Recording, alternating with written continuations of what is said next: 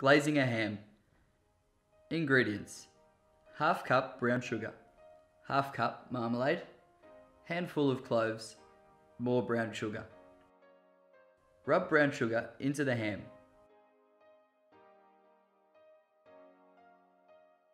Press the cloves into the centre of each diamond. Put into the oven, 200 degrees for 15 minutes or until the diamonds start to separate. On the stove, add marmalade and brown sugar. Stir until combined.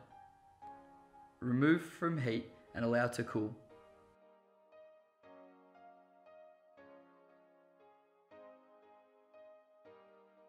Garnish with fruits of your liking.